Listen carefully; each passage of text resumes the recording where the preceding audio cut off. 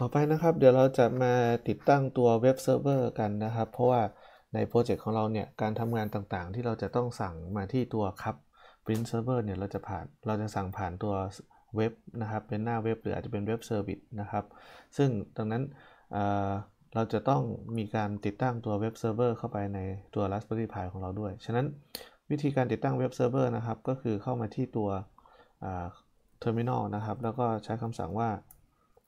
sudo นะครับ apt install apache 2 apache 2 คือ web server นะครับ ที่ทำงานบน Linux นะครับ ทีนี้ก็ใช้ apache เวอร์ชัน2นะครับ มันก็จะถามว่าติดตั้งนั่นนู่นนี่นะครับ พอติดตั้ง apache ลงไปเสร็จนะครับ มันก็ เราทดลองเข้ามาที่ตัว หน้าเบราว์เซอร์ของเรานะครับ ใส่ 127.0.0.1 นะครับ แล้วก็เป็นเอา port 631 ออกนะครับ Enter เข้าไปนะครับ ถ้าเข้าได้นะครับ ถ้าติดตั้ง web server ถูกต้องจะได้ขึ้นมาเป็นแบบนี้นะครับ โดยที่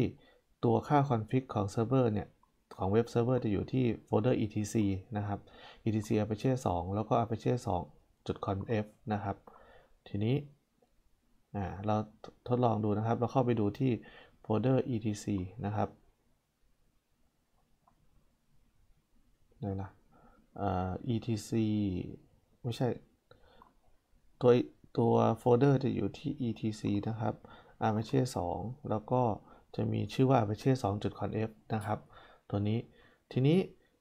โฟลเดอร์ที่เก็บงานนะครับ หรือว่าเก็บหน้าเว็บไซต์มันจะอยู่ที่ตรงไหนล่ะ เมื่อกี้เห็นแบบแบบอ่าตัวนี้ครับ var w w w นะครับ แล้วก็ html ฉะนั้นเราลองเข้าไปดูครับ ตัวนี้คือโฟลเดอร์ var ครับ w w w และ html ตัวเนี้ยนะครับ นี่คือหน้าที่โชว์อยู่ตรงนี้นะครับ หน้า index.html ก็คือหน้าที่โชว์ตรงนี้ ทีนี้เอาละตัว web server ของเราขึ้นแล้วนะครับ ตอนนี้เราจะทำการ config นะครับ config ค่าตัว web server ของเรานะครับ โดยปกติเนี่ยเราไอตัวโฟลเดอร์ var web ตัวนี้มันจะเป็นของระบบนะครับ เราสามารถเขียนโปรแกรมอยู่บนนี้ก็ได้นะครับ แต่ว่าถ้าให้ง่ายถ้าให้สะดวกเราก็อาจจะดึงตัวโปรแกรมของเราเนี่ยมาอยู่ในหน้าในในโฟลในโฟลเดอร์งานของเรานะครับ ในโฟลเดอร์งานของเราเราจะได้หาง่ายๆ ฉะนั้นอาจารย์จะดึงโฟลเดอร์นะครับมาอยู่ที่ user pi นะครับ อาจารย์จะ เข้ามาที่โฟลเดอร์ home pi นะครับ แล้วก็สร้างเป็นโฟลเดอร์ใหม่ที่ชื่อว่า world wide web นะครับ เสร็จปุ๊บ อาจารย์จะไป copy เอาตัว html ตัวนี้นะครับ index.html เนี่ย จากจากใน var world wide web html นะครับ copy เอามาใส่ในโฟลเดอร์ที่เราสร้างขึ้นมาเมื่อกี้นะครับ ก็จะเอามาใส่ตรงนี้นะครับ เอามาใส่ตรงตรง home pi www แล้วก็มี html นะครับ ทีนี้เราจะ config ให้ตัว apache เนี่ยชี้มาที่โฟลเดอร์นี้นะครับ โดยที่วิธีการ config นะครับ เราเข้าไปที่ไฟล์ config ของของ apache นะครับ ชื่อว่า cd เข้าไปที่ etc apache 2 นะครับ apache 2 นะครับ ls ดู เราจะเห็นไฟล์ตัวหนึ่งที่ชื่อว่าตัว apache conf นะครับ apache 2.conf แล้วก็ที่สำคัญคือตัวที่เรียกว่า sites-enabled นะครับ ทีนี้เราไปดูตัวแรกครับ เราเข้าไปที่ site enable ก่อนนะครับ cd site enable นะครับ แล้วก็ ls ดู มันจะมีไฟล์ config ตัวหนึ่งชื่อว่า sudo default conf นะครับ แล้วก็ sudo นะครับ nano 000 tab ปึ๊บ มันก็จะขึ้นมาอย่างนี้ ตรงนี้ครับ เห็นไหม directory หรือว่า document root ตอนนี้มันอยู่ที่ var/web/html ก็คือค่า default เราจะเปลี่ยนตัวนี้ครับไปเป็น home/pi/web นะครับ อันนี้เราเปลี่ยนให้มันมาชี้อยู่ที่ในโฟลเดอร์ home ของเรานะครับเราก็ Ctrl X yes ออกไป แก้ที่ตัว default ตัว site enable เสร็จแล้วนะครับ cd จุดๆออกมา เราต้องมาแก้อีกตัวหนึ่งอยู่ในตัว apache 2.conf ด้วยนะครับ ฉะนั้นเราก็แก้ที่ sudo นะครับ nano apache 2.conf นะครับ เลื่อนลงมาด้านล่างนะครับ เลื่อนลงมาเรื่อยๆ จนกระทั่งเห็นคำว่า directory นะครับ directory อยู่ไหนเอ่ย เลื่อนลงมาเรื่อยๆ นะครับอ่าเจอละ directory นะครับ directory ตัวเนี้ยเห็นไหมครับ slash ตัวเนี้ยครับ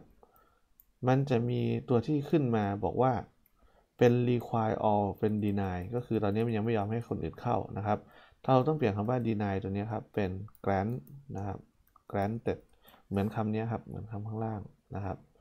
granted ก็คือยอมไม่เข้า แล้วก็ control x แล้วก็ yes ออกมานะครับ